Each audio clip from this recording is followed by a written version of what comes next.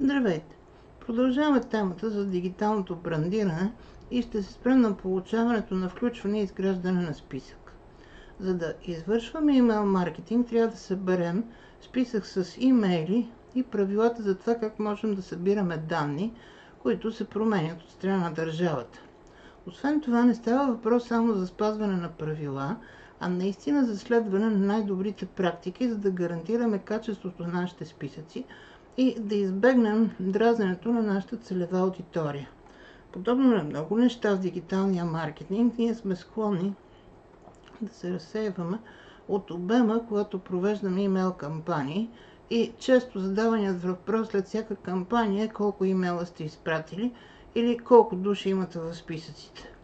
Това, върху което наистина трябва да се фокусираме, е качеството на нашите списъци и действителните резултати, които нашите кампании получават.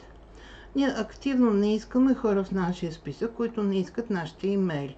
В противен случай просто създаваме отрицателна допирна точка, която ще навреди на нашия дигитален бранд.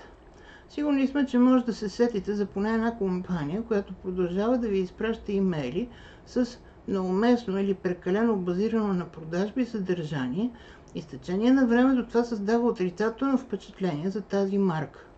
Най-добрата практика по отношение на включване е да се следва подход на двойно включване, т.е. да позволите на някого да попълни формуляра за регистрация и след това да му изпратите имейл, върху който трябва да кликне, за да потвърди своето включване. Това може да звучи малко като трудоемък процес, но повечето ESP напълно автоматизират този процес за вас.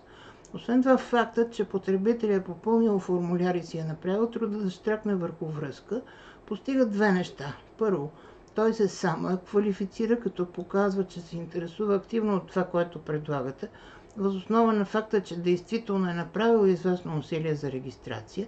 И второ, този процес на регистрация ви дава действителни доказателства, че са се регистрирали. В противен случай всеки може да вземе вашия имейл адрес и да ви запише за който и да имейл списък пожелая.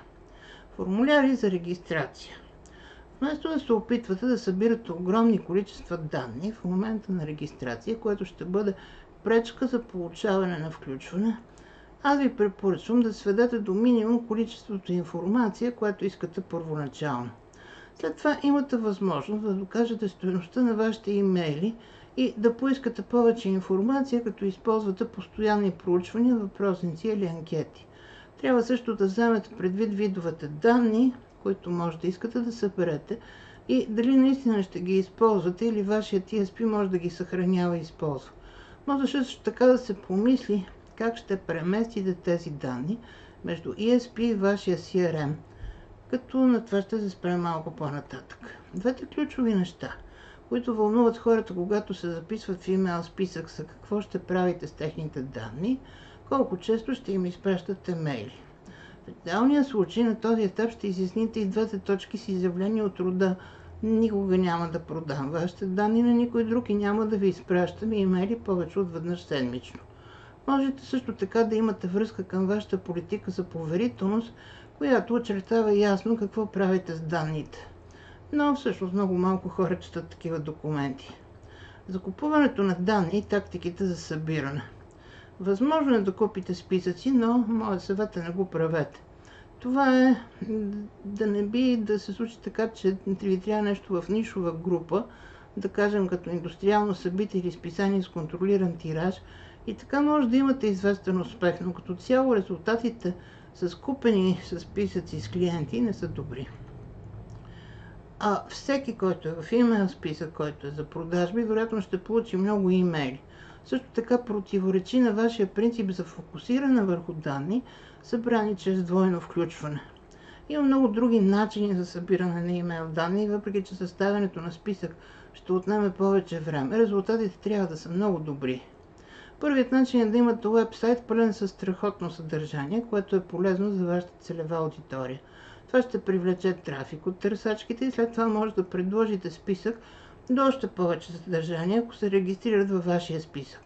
Това е постоянен подход, който трябва да присъства във всички уебсайтове, за да позволи на заинтересованите страни да регистрират своя интерес. Но винаги ме очутва колко много сайтове правят трудно или дори невъзможно да се регистрирате дори за техния бюлетин. И така, скъпи мои приятели, на моя YouTube канал Дневниците на професор Кръстев аз правя съдържания за маркетинг и бизнес всеки ден. Ако то ви допада, моля абонирайте се за канала. От сърце ви желая прекрасен ден!